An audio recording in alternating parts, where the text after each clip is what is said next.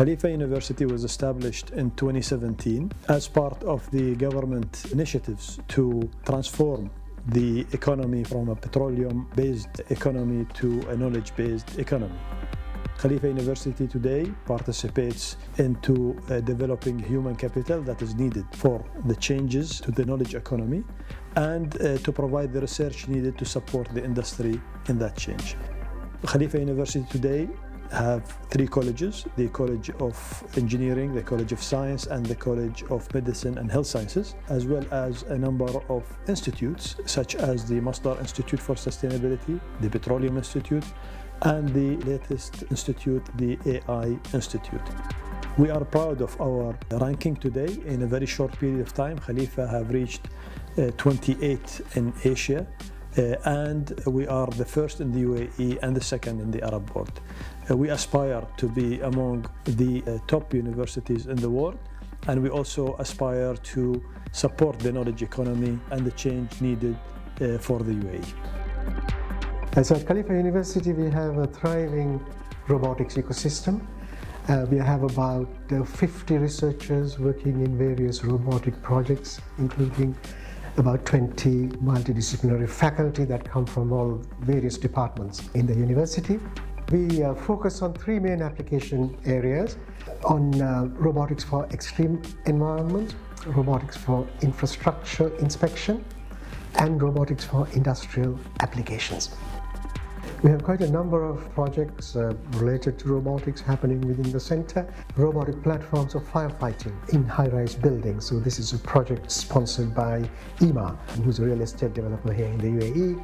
Most of these fires, they start small. So if you have these drones on site, they can tackle them before they become big.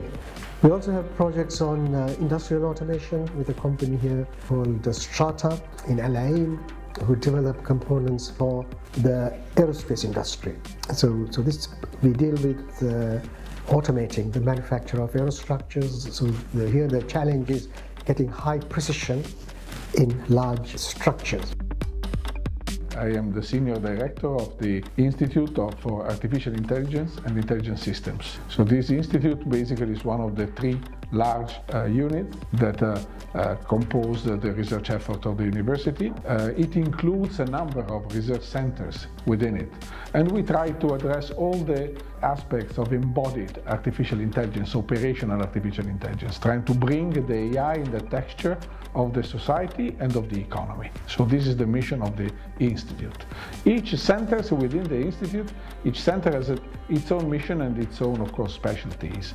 And uh, I am also the director of one of those centers, which is called the Center for Cyber Physical Systems. In this center, basically what we do is to put together all the chain of value, going from uh, the periphery of sensors that will collect data about the processes, what people are doing, the environment, uh, the communication of this data uh, to peripheral nodes or to the center for processing, the analysis, the analytics, AI, and the results of this, of this uh, uh, analytics uh, to be provided to human decision makers or for automatic decision making. For example, one uh, project that we are doing in association with the KAIST University in Korea, which is one of the partners of our institute, is to try to detect uh, the fitness for work of humans by uh, analyzing runtime their brain waves.